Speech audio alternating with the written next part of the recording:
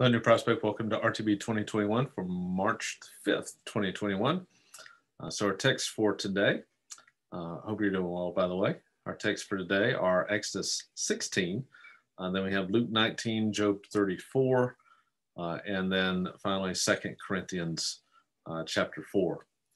Uh, so let's dive right, in, right into these texts. So Job 34 is um, another chapter in El- Elihu's uh, response to Job. And again, kind of like yesterday, if you remember yesterday, he was citing some of Job's same arguments uh, and refuting them. And here he's doing kind of the same thing. Uh, Job had been claiming that he, you know, of course, he is innocent and that, um, you know, God is treating him wrongly. And verse 10, for instance, uh, Job or Elihu says, Listen to me, you, you men of understanding, far be it from God to do wickedness from the Almighty to do wrong, for he repays, he pays the man according to his work, he makes him uh, find it according to his way. So, in other words, uh, Job, you're experiencing this because God is being righteously judging you. Uh, he he repays you according to your work, and so your work must have been must have been unrighteous, and therefore you're suffering. Um, so that's kind of the same uh, arguments being made. And again, remember the, the purpose of these speeches of Elihu is to give uh, kind of some um, culmination of all the arguments that have been being summary of the synopsis of all the arguments being made in the book. Uh, let's turn over to Exodus uh, chapter 16. Uh, now, we didn't actually talk about this yesterday, but um, here in Exodus 16, it kind of continues the journey from um, from Egypt to, to Mount Sinai. And uh, along that journey, you're going to have um, you're going to have three instances of Israel complaining and grumbling. Uh, so first is at uh, Marah, uh, where they're complaining about uh, not having the water, and then you have, of course, God providing the manna for them, uh, and then later on, you have another complaint for water in chapter 17, and it's all it's always characterized as Israel grumbling. Uh, so they're not they're not uh, showing too much gratitude to God for their His provision for them, um, and you know they're they're uh, they're constantly uh, making these extreme statements, like in verse three, "Would that we had died by the Lord's hand in the land of Egypt," uh, and when we had sat by pots of meat and we ate bread to the full, and you've got all these uh, great things. They look back at, at Egypt as this great, uh, great experience for them. But of course, uh, I think one of the one of the leading causes of um, one of the, the, leading problems, I guess you could say, uh, for Christians is a lack of contentment. And I think of, for instance, in Philippians, where Paul uh, talks about how he is content in all things, even though he is imprisoned, right? Uh, even though he is undergoing great, great suffering, uh, he can be content in all things. And yet here are these these Israelites coming out of who, who experienced the the majestic, saw even even um, beheld with their own eyes the great salvation of God, and yet they're still uh, grumbling and complaining. Um, and it, it takes, of course, a, a God-centered perspective to change that that kind of attitude. So it's a helpful warning, I guess you could say, to read through a book like this. And it's always also good to to re- remind yourself, okay, how would the original audience have heard this type of thing or read this? And I think they would have read it in the same way that, for instance, the author of Hebrews reads this text.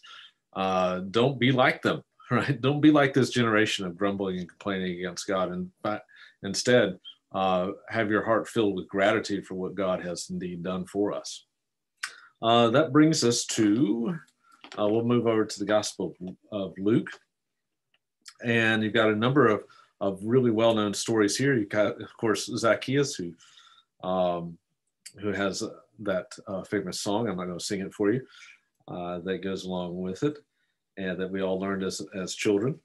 Um, but what always struck me about the story of Zacchaeus is, of course, how uh, it almost mirrors the proper response of anyone who's coming to, to saving faith in Christ, right? You, uh, you see try to he's trying to see Jesus, uh, and Jesus uh, uh, comes to him, doesn't he? And uh, God came to all of us in our in our sin and our rebellion, um, and uh, then in verse ten you have that that statement of Jesus that he came to seek and save that which was lost. Remember what we talked about in chapter 15. What is it that is lost? Uh, those people who are in need of repentance um, from their uh, from their their pre- previous way of life. And here is, of course, Zacchaeus is the same. He's kind of the the prodigal son, the lost coin, the uh, the the lost that needs to be found. Uh, then, of course, at the end we have the triumphal entry, and then the the driving of the money changers out from the temple. Uh, if you have a Bible that is a reference Bible, you'll notice that when he drives the money changers out from the temple, and also in the triumphal entry, uh, there are quotations from the Old Testament. In both cases, I think the Old Testament, I don't have time to go into it now, but the Old Testament is the key to understanding those passages, particularly in the driving out of the money changers from the temple. Basically, by quoting the Old Testament there, Jesus, in a sense, is calling, uh, by calling them a, a robber's den, he's, he's basically comparing the Jewish leaders of that day, uh, the temple authorities of that day, to the same uh, he, that same phrase is used in the book of Jeremiah when Jeremiah calls the temple authorities of his day, the leaders of his day, uh, who had who had led the Israelites into exile.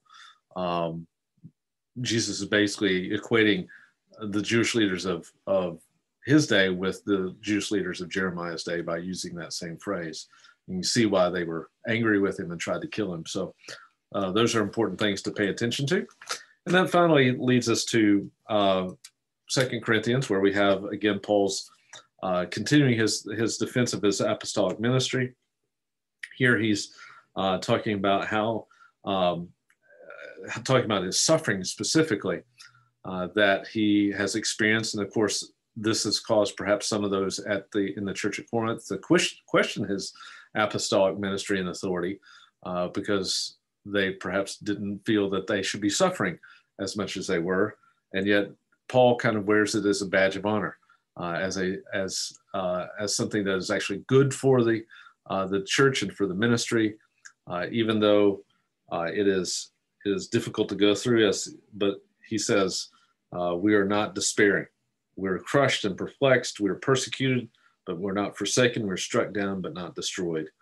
And of course, the context of all that, we kind of use that for any suffering that we endure. The context is that Paul is suffering for the sake of the gospel. Uh, and when you're suffering for the sake of the gospel, it is something that we endure uh, and we uh, do not despair in because uh, ultimately it's for the glory of God. Uh, and these things, he says, were done for your sakes, verse 15, um, and to the so that all this would abound to, again, the glory of God, verse 15. So, uh, some great text for today. And uh, if you are uh, enduring suffering for the gospel, understand that that is uh, for ultimately the glory of God. And so I hope you have a great rest of the day on this day, March 5th, uh, 2021.